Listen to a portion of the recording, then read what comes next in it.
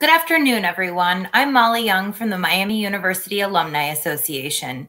As part of the Objects That Change the World lecture series organized by the Miami University Humanities Center and the Miami University Alumni Association, today we proudly present Crazy Blues with Tammy Kernodle. Tammy Kernodle is professor of musicology and has published widely on African American music, jazz, and gender in popular music. She is the author of the biography Soul on Soul The Life and Music of Mary Lou Williams, published by the University of Illinois Press. In 2018, Professor Kernodle was awarded the Miami University's Benjamin Harrison Medallion, which is the highest award given to a Miami University faculty member in recognition of their research, teaching, and service. She is currently president of the Society for American Music. Welcome to Dr. Kernodle, and thank you for taking the time to, to join us today. Questions were collected during the registration, and Dr. Kernodle will address some of those throughout the webinar today. You'll also have the option to ask a question during the webinar by clicking the Ask a Question button on the bottom of your screen. Please note that in the interest of time we have available, we may not get to every question. Today's webinar will last about an hour, including time for questions and answers. With that, I will turn it over to Dr. Kernodle. Welcome. Thank you, Molly. It's good to be with you again. Uh, and thank you to all um, who took time out their day to attend this lecture. So I want to start this conversation uh, with going back in time. I want to take you back to August 10th, 1920. It was on that day that a Harlem based singer by the name of Mamie Smith entered the studios of Okeh Records. Uh, she had been working uh, in the Harlem scene for quite a while and collaborating with a songwriter by the name of Perry Bradford. Now, on that particular humid and hot day in August, uh, she set about recording a song written by Bradford uh, that would be uh, marketed under the title Crazy Blues. So let's hear this record.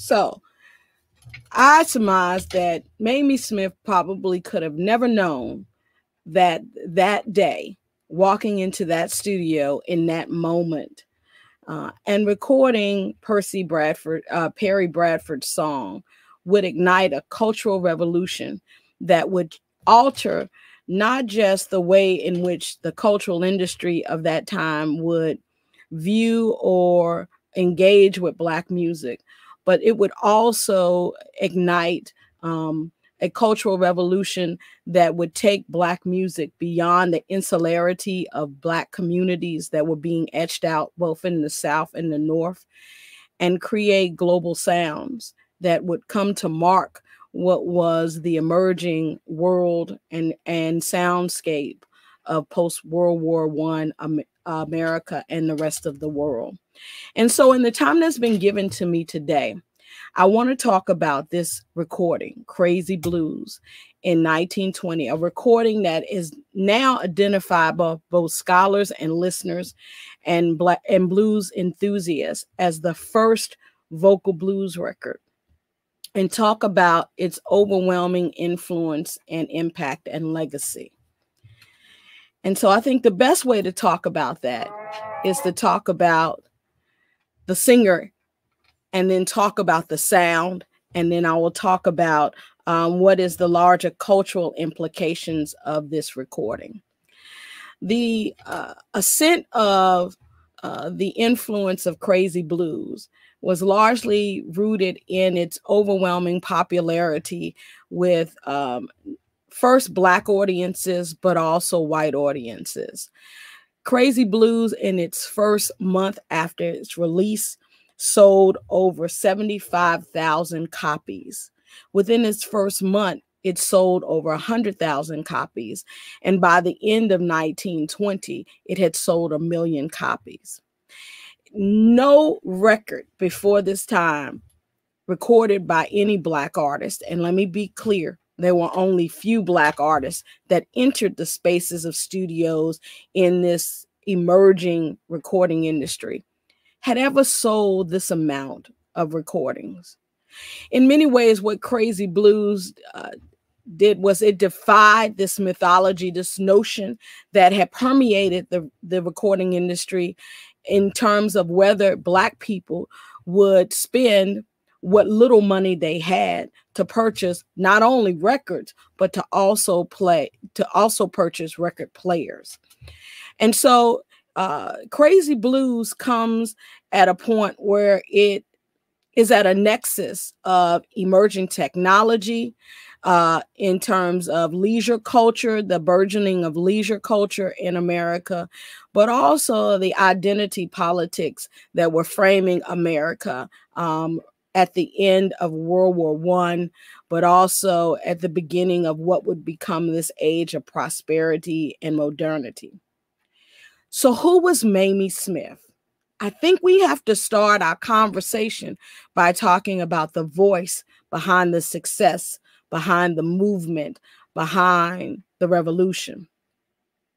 She, like many of the Black women who would come to define recorded blues culture in the 1920s, had largely developed her skill set in her formative years singing in the church and that that talent becoming a threshold for her to escape what was the monotony of black life in America.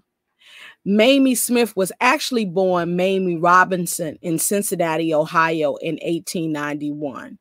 There's very little that is known about her early life. But what we do know is this by the age of 10, she was already performing with vaudeville groups here in the Cincinnati area. And not just black vaudeville troops, I think Mamie Smith's life as a professional musician speaks to us about how there is this um, racial and cultural engagement that often takes place in border cities like Cincinnati, Ohio, which was a major port city that brought many people uh, here during the late 19th, early 20th century. And so we have Mamie Smith first, or Mamie Robinson, excuse me, first appearing with a white vaudeville troupe as a singer.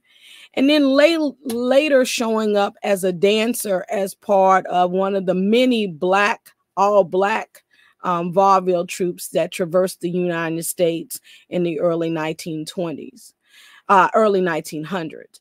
Around 1918, though, what we we know is that she has kind of shifted away from the itinerant life of uh, these vaudeville troupes and has begun to situate herself in the musical cultural life of Harlem. And she's singing in these Harlem nightclubs. And it's there that she encounters uh, Perry Bradford and also encounters her husband, who actually is a singer and a musician in his own right. And so, uh, two years before uh, Mamie Smith enters this uh, New York based studio, we have her honing a sound, a sound that really was speaking to what was the the the evolving sense of black culture in the urban north during the height of the great migration. But mamie smith's story i want you to know is not so unusual for this time. What we do know is this that by uh, the time of her birth 1891 the blues was already beginning to develop uh, as an important part of the soundscape of the South and Midwest. These iconic songs uh, that seemed very different from the spirituals and rags and stomps and other song forms and instrumental genres that were being cultivated by blacks as they traversed throughout uh, the South and the Midwest. Uh, seem to to have a, a subculture of their own a belief system of their own and most importantly they documented an aspect of american life that no newspaper uh, sought uh, or thought was important. And so the, the blues became uh, really a living newspaper an incubator for the identity politics as people shifted around this environment. We know that as early as 1906, a singer who originated out of Columbus, Georgia, was a part of the minstrel troupe practices of the 1890s and and made that transition to vaudeville in the early 1900s was beginning to integrate these poignant songs into her repertoire that person was gertrude pridgett who is better known as ma rainey and Ma Rainey's uh, promotion of the blues song and, and her popularizing of the blues song in the early 1900s was significant in shaping the culture and the soundscape of America. Ma Rainey traversed the United States in the circuit that was first introduced by minstrel show troops, but but were, were taken over and supplanted by vaudeville troops. In the summer months, they traveled and played in tent shows, but in the winter, they they they shifted their performances to theaters within larger uh, metropolitan cities. And so the blues became a part of this widening soundscape that people began to um, to identify in the early 20th century. And women performers, more so than male performers, were beginning to really define this practice in this vaudeville um, circuit. Now, I don't want to give the impression that male performers were not important. But when we talk about the sound that we just heard with Crazy Blues, it marks for us the emergence and the ascent of the female blues performer if you look at early blues scholarship, male performers are often privileged and they're all oftentimes situated as the originators of this culture.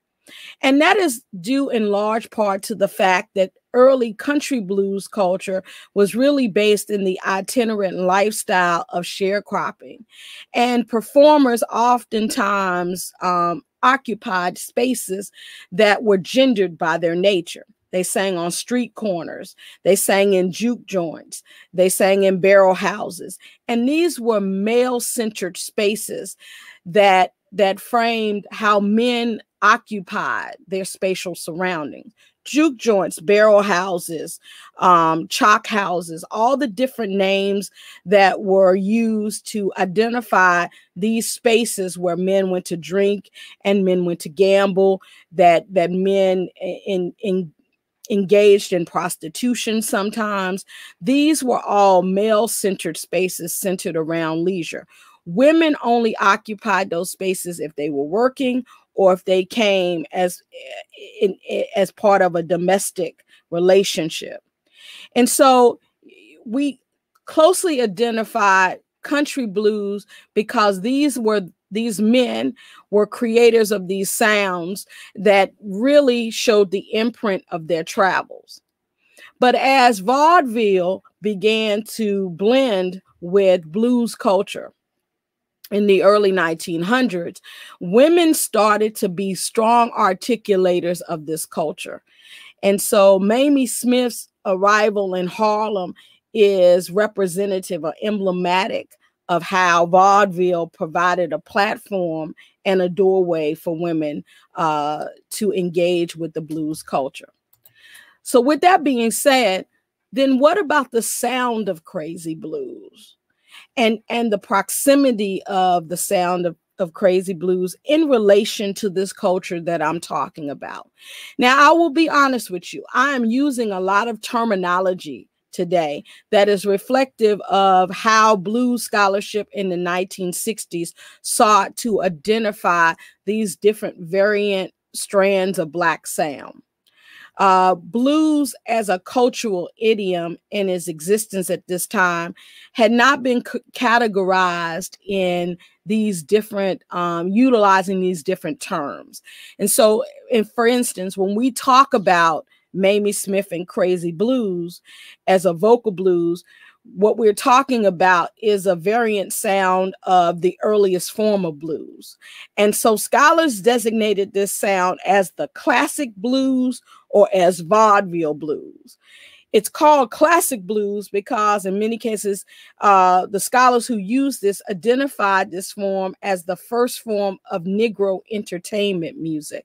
And I'm using terminology that is rooted in the early 20th century. Vaudeville blues is what has evolved out of the scholarship of other scholars. Daphne um, Brooks, uh, for instance, uses this terminology because what she identifies in the sound is how the blues is being reconceived in the modern environment of urban cities in the North or border cities like Cincinnati and Memphis in the South, right?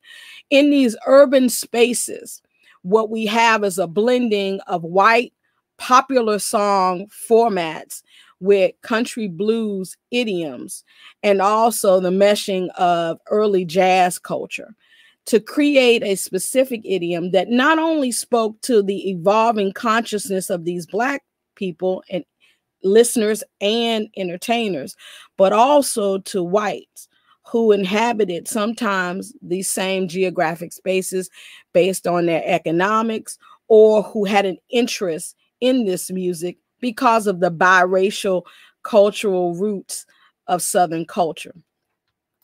So when we talk about crazy blues, crazy blues in 1920s is a representation of a type of modernity of American modernity in some ways, but more importantly, Black modernity. And this Black modernity is being rooted or crafted or defined in, in a series of things that are taking place in the years prior to this recording. One is the Great Migration, the mass exodus of Southern Blacks to the North uh, that takes place at, at its height between 1915 and 1919. You literally have uh, thousands, uh, and some scholars estimate close to a million Southern Blacks who are beginning to move to urban cities, seeking not only new opportunities socially, but also uh, heeding the call of industry uh, in its need to uh, to continue its level of production and proliferation do, as we are entering World War One. And the influx of European immigrant uh, workers being in some ways shut off. The second thing that marks this modernity in this sound is uh, the racial tensions that began to emerge as this migration is taking place. These racial tensions hit uh, a, a, a, high point in 1919 uh, when uh, we have we experience what is called the Red Summer, and the Red Summer is marked by a series of race riots that are taking place uh, throughout the country. Most people point um, specifically to the race riot that happens in Chicago during this period in time, which is precipitated by the killing of a young boy who um, innocently drifts into um, the white section of uh, a beach area there.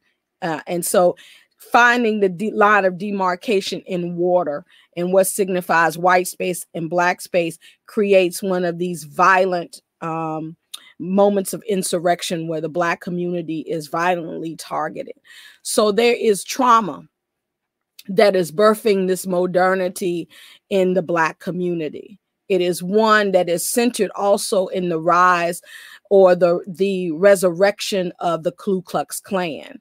Um, and this notion of America first being part of the political ideology uh, of the time. The third thing that this modernity is going to be rooted in is the the cultural and social reaction that is taking place to all of these events within the black community, particularly amongst the black intelligentsia, which by 1919 is seeking to counter uh, what is this public narrative of the black threat uh, and these racial tensions, which are exasperated by the the movie Birth of a Nation, as well as um, the propaganda that arises out of um, the resurrection of the Ku Klux Klan. And so, as a byproduct of this, there's a cultural movement that is beginning simultaneously that we identify as the Harlem Renaissance, but it is really a, a Negro Renaissance because while it is strongly incubated first in Harlem, we have um, congruent movements that are emerging in Chicago and Washington, D.C., in Philadelphia, and later LA and other spaces. And so this modernity is wrapped in all of these things trauma and violence and movement and opportunity and access, resistance, but also new political ideologies that are seeking to redefine Blackness not only in a physical lived way and in what is projected as a lived experience, but what is also being sonically presented to the world as Blackness. And so, in order to understand what made um, Mamie Smith's sound seem so radical and, and what made it attract the type of attention that it did, I think we have to go back and we have to listen to what the blues was in a vocal form before um, we get Mamie Smith. And in order to do this, I want to go back to Ma Rainey. Now, let me be uh, let me be transparent. Although Ma Rainey is the first woman to perform the blues uh, on stages and to popularize the blues as part of this repertory that that vaudeville performers are are extracting from.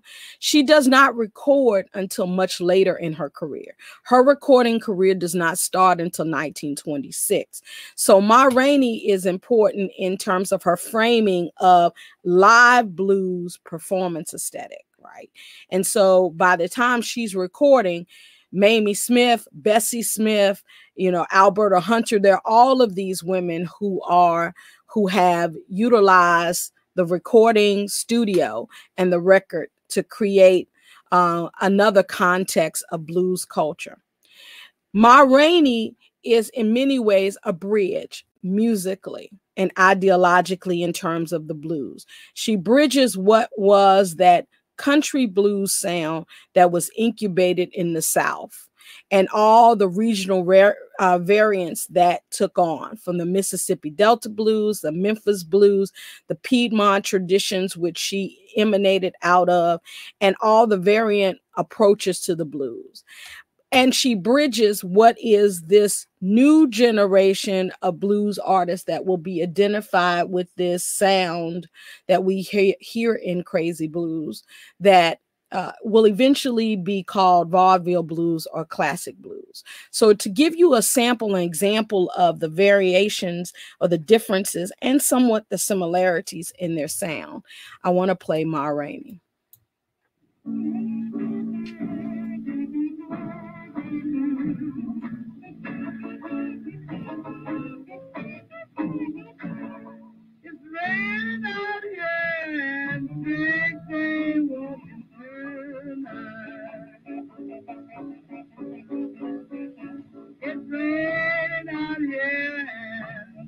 Make me to and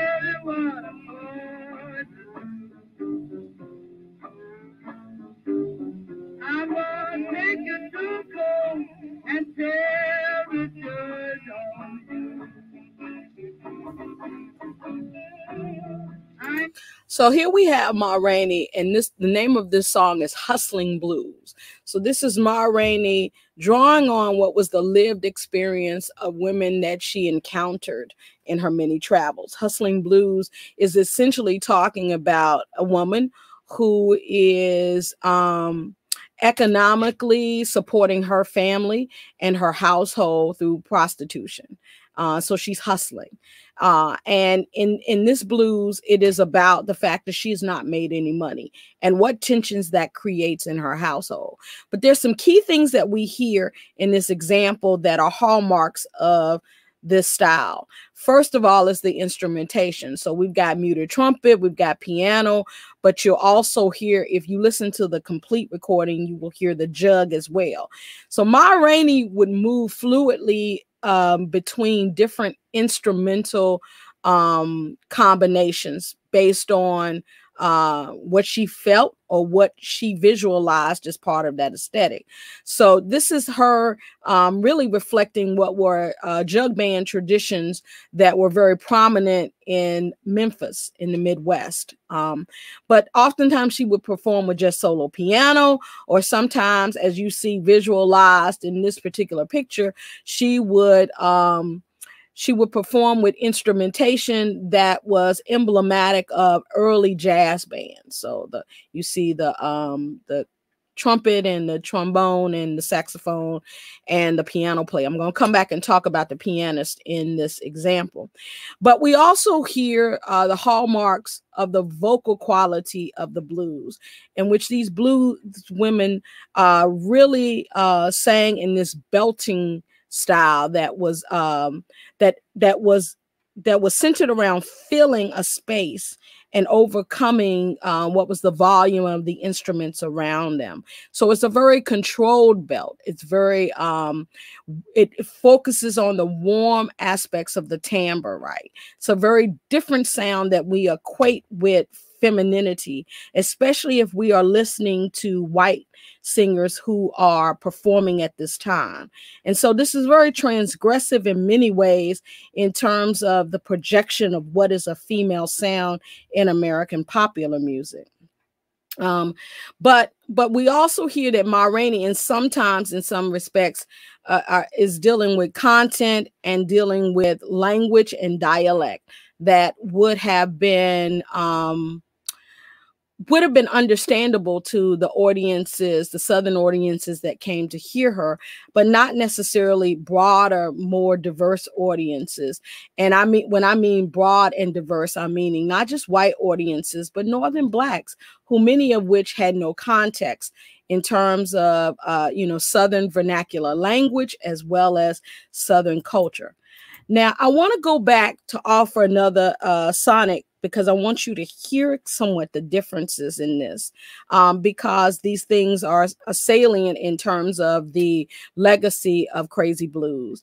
Uh, a recording that um, Mamie Smith made six months prior to Crazy Blues, because most people focus on Crazy Blues as being um, this first significant record, but she actually made two records um, uh, in early 1920 um, that were really emblematic of Bradford's coaxing of uh, Okeh Records to record a black singer. Um, and and so this is very much rooted in this classic sound. And so I want you to to hear a little bit of this.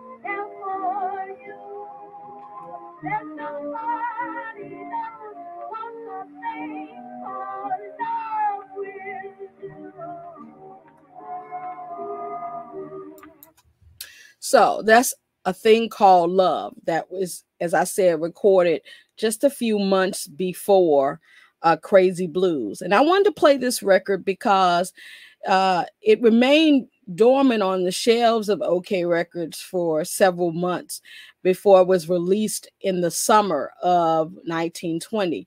And upon its release, it immediately sold 10,000 copies without any um, marketing or any fanfare whatsoever. Um, and so, on one hand, what it indicated to Okeh was the viability, the economic viability of Black life. But what it also represents for us is just how misleading the, the use of certain terminology during this period in time can be in reference to what is actually happening musically. And so this is called the vaudeville blues and will be marketed as blues. But really this is more of a conventional pop song that that brings in some elements of jazz culture um, and in some ways uh, some of the ethos of the blues in that you know there's a narrative story that is being told without. But the some of the classic elements of the blues that that that make the blues an a unique and identify blues song uh, uh, idiom aren't there We don't have that same 12 bar blues skeleton formula, harmonic formula being emphasized. We also don't hear what is oftentimes viewed as blues poetry in the way that we heard in Ma Rainey. So what I'm what I'm trying to get to saying is that that you know this terminology really and the use of the term the blues was in many ways representative of how um, record companies began to realize with the growing popularity of, of Mamie Smith and these records, just how uh, viable Black music would be. Uh, and particularly in the in the decade of the 1920s. So let me get to the heart of all of this, because Crazy Blues, a thing called love, and its success, growing success, inspired a marketing strategy that was enacted first by Okeh Records, but begins to proliferate to other record companies during the 1920s. And that that strategy would be called race records or race music. And so um, it, it represented the commodification of this culture, but it also represented uh, the industry creating real um, categories that were racialized. And so this context of racialized sound begins to be um, promoted and defined in the 1920s. So much so that uh, the records of artists like Mamie Smith, uh, Ma Rainey, Bessie Smith, those singers, and then that spreading to jazz the jazz recordings of Joe King Oliver's Creole Jazz Band or uh, Louis Armstrong later on are identified by the label reading race. Uh, and white performers who are going to also, in many ways, be racialized and categorized after uh, a series of recording sessions in Bristol, Tennessee in 1927. You know, will will will bear this marker of Southern right? And so, you know, Southern on a label is denoting white rural traditions. And that's a sound that is is going to be about framing whiteness, sonic whiteness in America, different from Caruso and the opera that um, is dominating the recording um, industry at this time. And then we get crazy blues and all of these jazz recordings and all these subsequent recordings creating this context of black sound in America. And so, you know, this this strategy of race records was very lucrative. You know, um, rather than just simply releasing material, you had recording companies like Okeh who put out advertisements such as this. And if you look, this is an actual advertisement. The Jazz Hounds were actually initially just a collective of instrumentalists who worked um, on these series of recordings, but they uh, get rebranded as Mamie Smith's band um, and their personnel is constantly changing. Um, and so again, this is is is the the record company um, capitalizing on what is a growing appetite for Black music in America in the 20s, and how that is also going to be important in terms of framing white modernity, not just Black modernity in this time. I don't have time to talk about that today, um, but that that is something to take in consideration. And one of the reasons why we have F. Scott Fitzgerald um, through his work, his literary work, and his lived experience embodying this kind of um, engagement with Black culture and and the sounds of of Black America at this time. I would be remiss if I didn't say that this marketing strategy did not impact how the Black community uh, also viewed the viability of this music and culture. Uh, out of this, um, this wellstorm of race music and race records, we we see the emergence of the first black-owned recording company, Black Swan Records, which was in existence from 1921 to 1923. And what Black Swan uh, uh, um, really was trying to do was to not just record blues, but to elevate Black culture as part of this larger ideological focus of the Negro Renaissance. And so uh, they recorded Black uh, uh, concert artists, opera singers, uh, Black um, ensembles, not just jazz, but also classical ensemble string quartets and whatever, was short lived largely because it did not have the same financial and economic base as a Paramount or an Okeh or, um, you know, or RCA Victor or any of these other uh, major companies that really began to uh, to grow in their um, grow economically, but grow in their influence over the race market um, idiom. Let me just say, this is big bucks for uh, the recording industry. In fact, it's the blues craze of the 1920s that um, really progresses the recording industry. It is a uh, it is estimated that these labels between 1920 up until 1933 and 34, when we start to see a decline in recording co- uh, culture, uh, sold an estimate 5 million records a year. And so, you know, we here we are talking about a million dollar, if not a billion dollar industry that is being scripted out of the success of this first record. So, the question is what is the legacy of crazy blues and how did crazy blues change the world? Well crazy blues in many ways opened a soundscape of of different variant forms of black music engaging with the new technology of the studio and the record. You know in time record companies moved beyond just simply these vaudeville blues inspired songs that we've heard and and began to reclaim the country blues traditions of not just Ma Rainey but other male performers like um, Charlie uh, Papa Charlie Jackson, um, Robert Johnson, um, Willie Brown, Son House. The list goes on and on. It would also expand to include jazz recordings and preaching and gospel.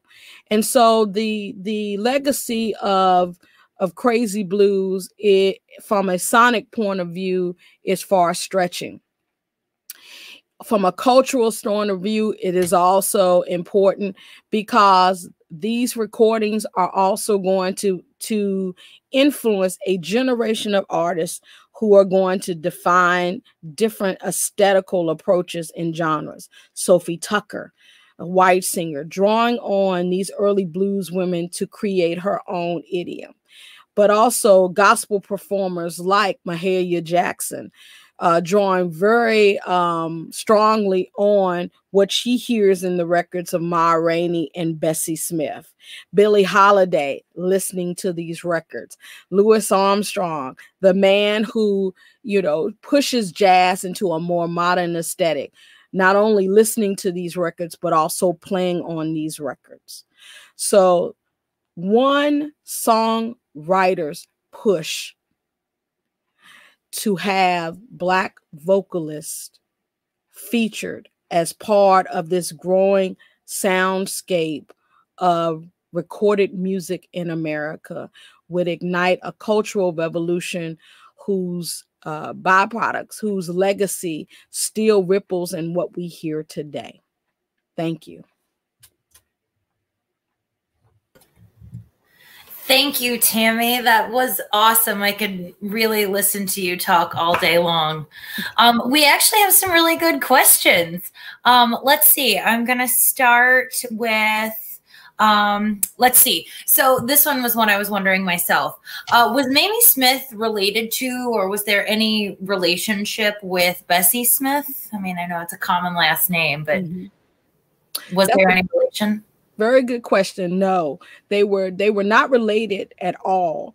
But what happens is, as a result of Mamie Smith's popularity, because she goes on to record a great deal, uh, just in the year 1920 to 1921, she's recording almost 40 sides. That's 40 records. That's a lot.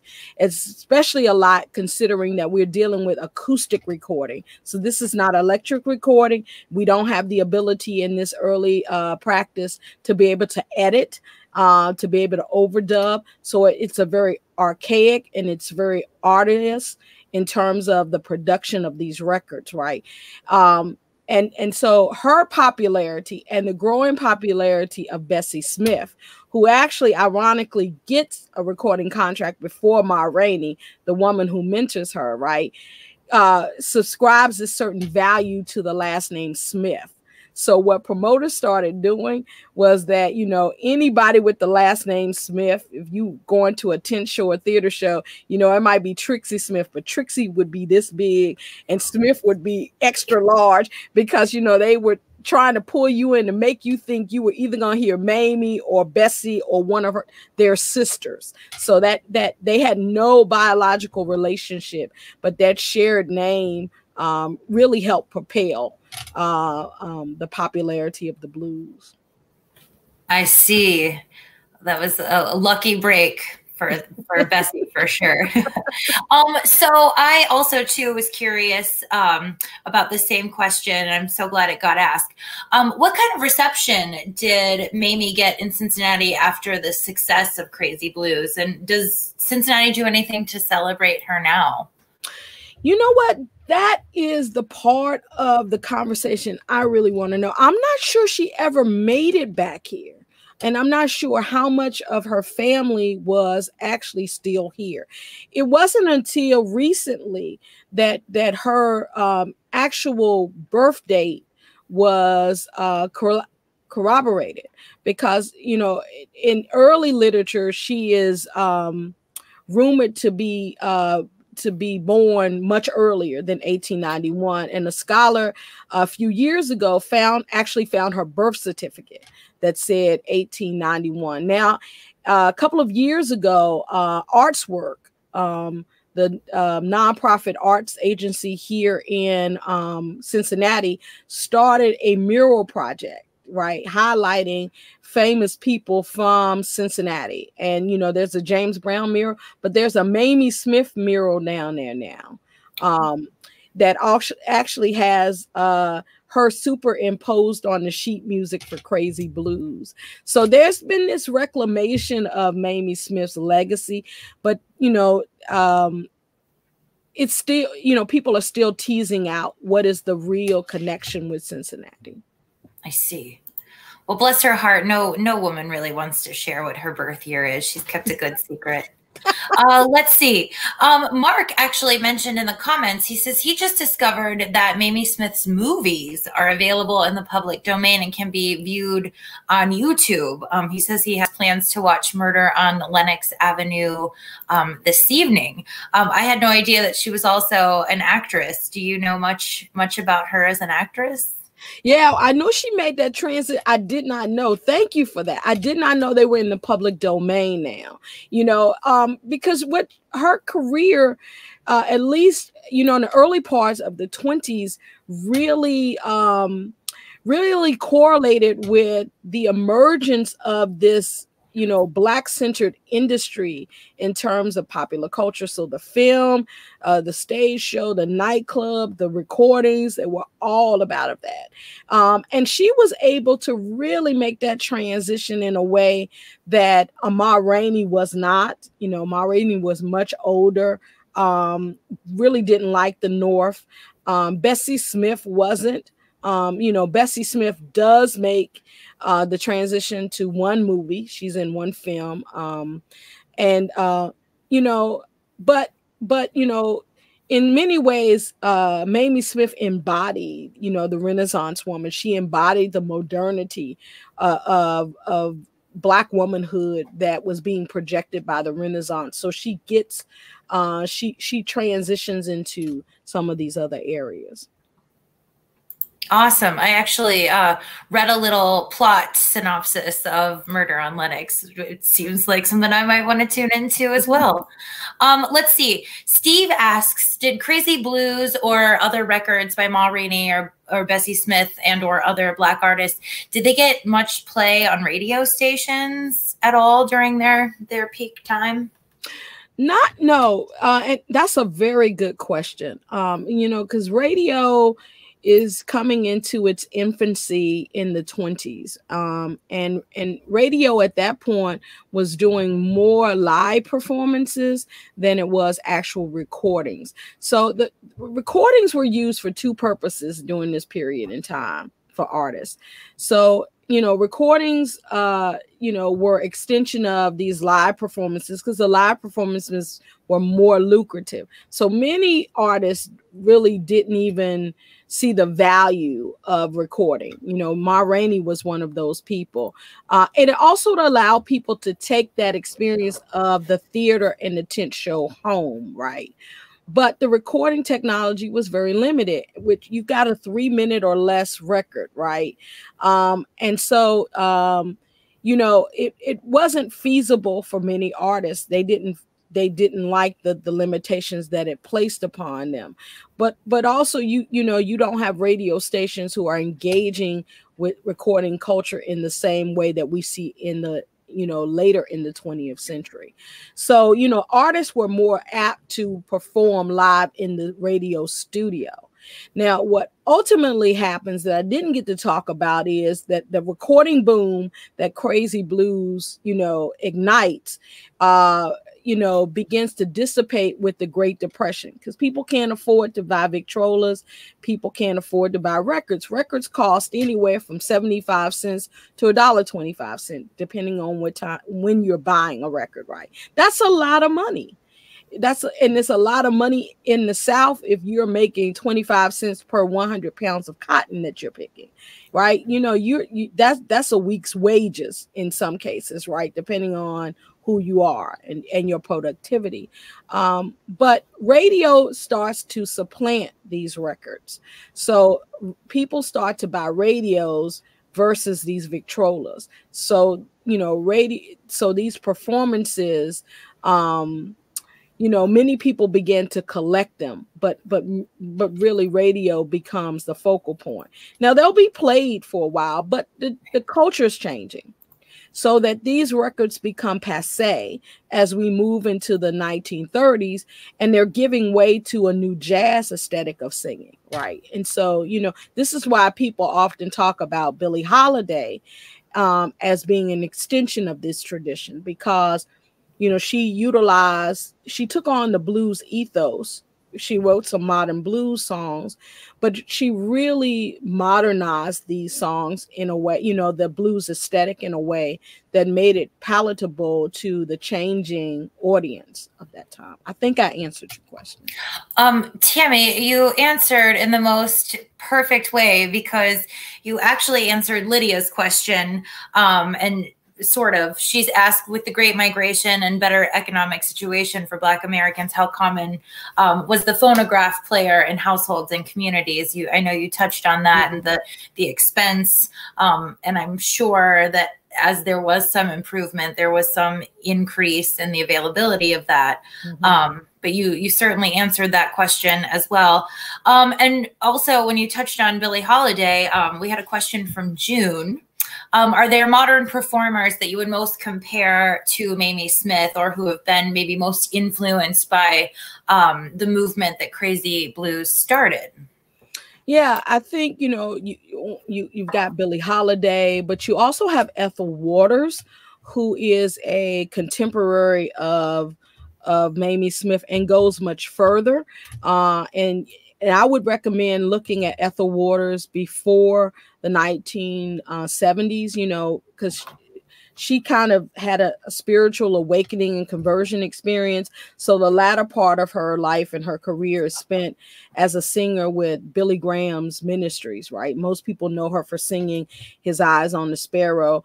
Uh, but she represented how blues singers who could make that transition uh, in sound and uh, in physical presence, right, and and repertory, uh, you know, could find a pathway into Broadway, and then she even went on to Hollywood. Then there's Alberta Hunter, you know, uh, who was in Chicago during this time, but actually has a resurgence uh, in her career um, in the 1970s. You know, so she's part of the rediscovery of this. Um, so you know, uh, Mamie Smith unfortunately dies penniless. Um, which is what happens to many of these women. You know, so many black women recorded you know, and or performed in these tent shows and theater circuits um, during this period in time. So it was a great pathway for Black women to really escape, you know, sharecropping, agricultural work, domestic work, prostitution, you know, um, and and so you know, in some way, I didn't get to talk about it, but in some ways, you know, what we have here in their music is a fuller glimpse of black life because bl- women's blues music talks about things that men's blues doesn't even talk about. I mean, love is talked about on a different spectrum, you know, and not just heterosexual love. We have people who are talking about queer identities and and and non-marital status relationships you know and and you have them really providing us a, insight about that migration experience and what migration meant for black women because people thought the north was the promised land. And in some cases depending on where you were it was no different than what the south you know you you just you know you you still battled the klan and lynchings and all of this so there are many women that stretch into the 50s and, and stretch into the 60s 70s and 80s and there are women who reclaim this you know janis joplin reclaim some of this this uh, repertory uh, in during her career, right? Um, so there there is a vast genealogy of women who extend from Mamie Smith. Mamie Smith in the recorded aspect and Ma Rainey in the live aspects of it. Right. Oh, Tammy, as always, you put on just a remarkably fantastic presentation. Um, I know I speak for many others when I say, really, truly, we, we, could watch you every day. This would be a delightful part of each lunchtime hour. So we so appreciate you being here. That is all the time we have for today. As a reminder, a recording of this fantastic presentation will be available on our website later today. Thank you again and again to Dr. Tammy Kernodle for leading us in this webinar today. To learn more about the important work of the Humanities Center at Miami and other lectures in this series, please go to the Humanities Center, oh, humanitiescenter.miamioh edu. I want to direct you to the right place. And to donate or become a friend of the humanities, please go to givetomiamioh.org slash humanities center. And please check out our other new and archived webinar presentations at alumlc.org slash Miami OH. Thank you again for joining us today. Love and honor to you all.